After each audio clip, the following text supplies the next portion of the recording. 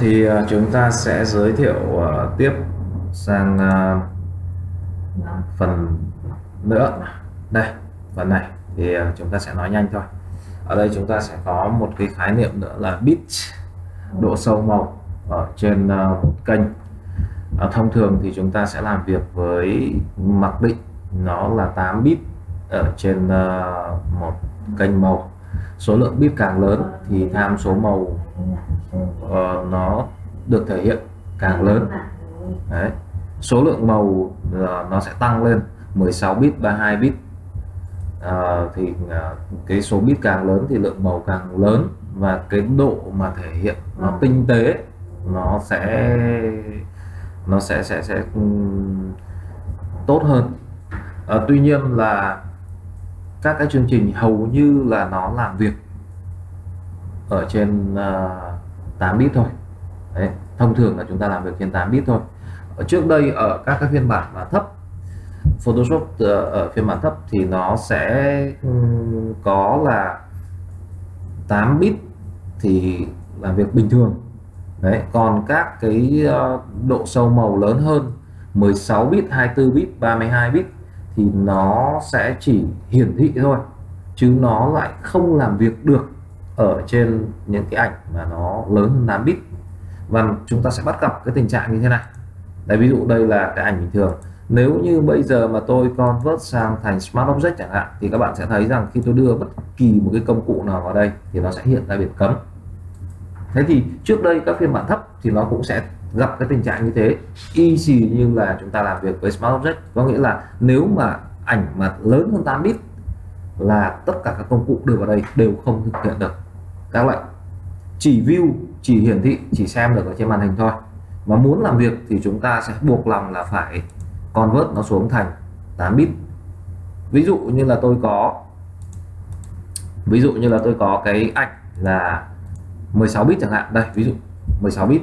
Đấy, thì khi mà tôi đưa vào đây mà tôi không làm việc được, thì tôi, bao giờ tôi cũng phải convert nó xuống ở mức độ thấp hơn là 8 bit đấy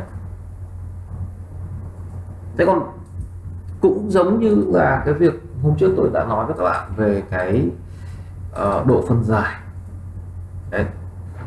độ phân giải lớn không có nghĩa là cái ảnh tốt hơn mà nó chỉ thể hiện rằng là số lượng pixel nhiều hơn thôi thì cái ảnh mà 8 bit hay 16 bit hay 32 bit thì về mặt gốc của nó mặt gốc của nó thì là các ảnh mà càng số bit lớn thì cái số lượng màu nó thể hiện được nó càng tinh tế hơn và nhiều hơn. Nhưng mà con vớt qua lại thì đây chúng ta có những cái lệnh con vớt qua lại. 8 bit con vớt sang 16 bit con vớt sang 32 bit. Nhưng như thế cũng không có nghĩa là tôi từ một cái ảnh 8 bit mà tôi con vớt sang 16 bit hay 32 bit. Có nghĩa là cái số lượng màu nó thể hiện được nó nhiều hơn lên nhé. Không phải như thế. Đấy gốc của nó bao nhiêu bit thì nó sẽ chứa bấy nhiêu màu. Và nếu như mà chúng ta từ cái số lượng bit lớn mà chúng ta chuyển xuống bit nhỏ, có nghĩa là nó sẽ nó sẽ giảm bớt cái số số màu ở trong cái ảnh đi. Đấy, và thường thường là trong các trường hợp mà ảnh lớn mà chúng ta không có thể hiện được, chúng ta không làm việc được, thì lúc đấy chúng ta buộc phải hạ xuống số bit thấp hơn để mà cái máy của chúng ta có thể làm việc được trên đó. Thế ờ, còn ở trong một chứ còn big cao là trong những trường hợp nào? Ảnh rất là lớn. Các bạn in ra các bạn phóng ra ở một cái kích thước rất là lớn và đòi hỏi cái độ mà tinh tế rồi thì cái độ đẹp nó nó rất lớn. Ví dụ như là ảnh chụp những cái uh, bìa các bìa tạp chí. Đấy những cái mà các bạn nhìn vào lúc nào nó cũng long lanh nó cũng đẹp đẽ. Thì ngoài cái chuyện là chúng ta sử dụng các công cụ chúng ta sử dụng các lệnh các thứ để chúng ta chỉnh cho nó đẹp nên thì ngay cái gốc của nó nếu như ảnh đấy mà cái số bit nó càng lớn cái kích thước ảnh càng lớn độ phân giải càng lớn thì cái chất lượng của nó nó đã quyết định rất là nhiều cái yếu tố đó rồi. Thế còn trong cái chuyện mà 16 bit hay 32 bit thì nó cũng có liên quan như thế này. Một số lệnh một số lệnh hoặc là một số các cái cái cái cái, cái bộ lọc hay là một số các cái lệnh nào đó là nó sẽ không hiển thị được nó không làm việc được với lại cái số lượng bit mà lớn hơn 8 ví dụ như là bây giờ chúng ta xem thử này. Um,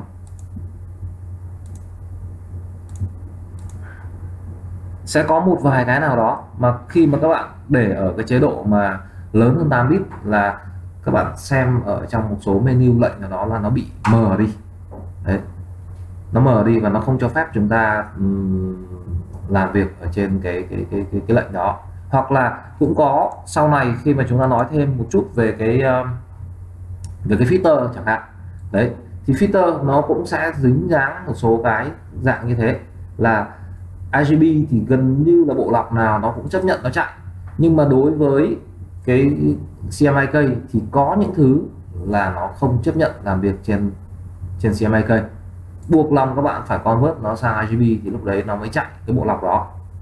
Thế thì cái này chúng ta nói nhanh như vậy thôi. Bởi vì hầu như là các ảnh các bạn nhận được thì nó cũng thường là ở cái mức độ là 8 bit này. Cho nên là chúng ta nói thế để chúng ta biết nếu trong trường hợp nào mà một lệnh nào đó hay một cái gì đó mà các bạn thấy không chạy được, kiểm tra thử, nó là số bit lớn hơn 8 thì các bạn nên convert nó xuống 8 thì nó sẽ chạy được một cách bình thường ở trên trên Photoshop này. Thế còn à, đến uh, vấn đề tiếp theo thì chúng ta sẽ nói thêm các cái lệnh ở menu này. Đây mới là cái phần quan trọng là adjustment này. Nó chứa hầu như tất cả các lệnh mà chúng ta sẽ sử dụng để mà chúng ta chỉnh sáng tối màu mè các thứ ở trong cái quá trình mà làm việc của chúng ta.